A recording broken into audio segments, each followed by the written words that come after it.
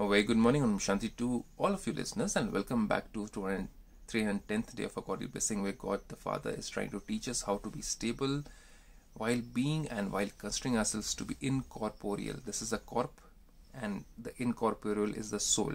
When we consider ourselves to be soul conscious because that's how we came down on this earth and that is what we are going to go up with. We are going to leave this body and go. We means the soul, the energy, the thinking conscious being.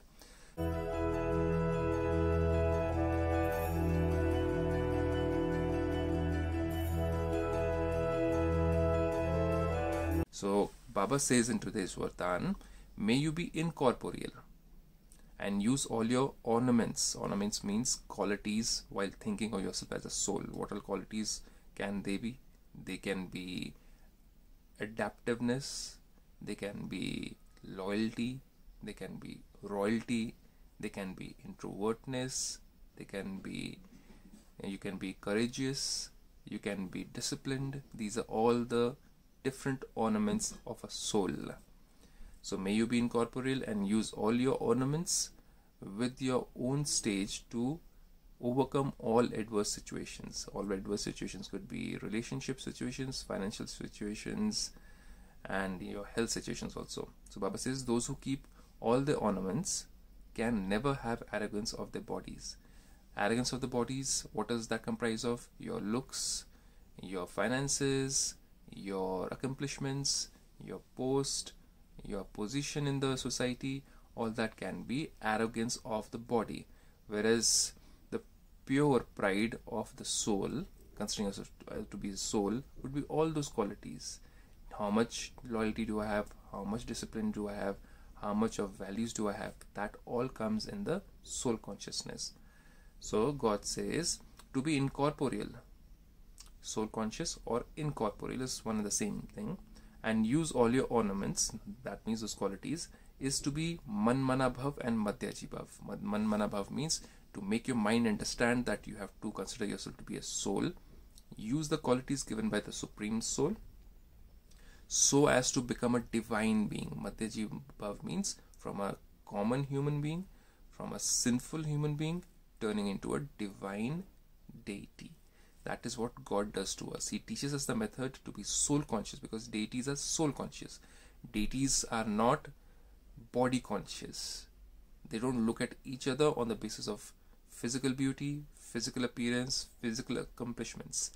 Divine beings look at each other's habits, each other's mind's purity, each other's intellect's purity, and that's how they build relationships. As compared to today's world, where people build relationships on the basis of outer appearance. So, Manmanabhav means I'm a soul, considering myself to be a soul and connected to God. Madhyajibhav means I have to become like a divine being. So God says, when you are stable in your own original stage, original stage means soul conscious stage and divine stage using divine qualities. When we are stable by using divine qualities, you can easily overcome all adverse situations. That means you'll use your qualities when you're in adverse situations, whether it's financial, whether it's your relationships, you won't be using vices, but you'll be using divine qualities. There are 36 different divine qualities. How to use them is all be taught every single day in our godly learning at Brahma Kumaris. You can go there and learn it. Let's go ahead. Baba says, when you are stable in your own original stage, you can easily overcome all adverse situations and all your different old types of nature will finish by doing this.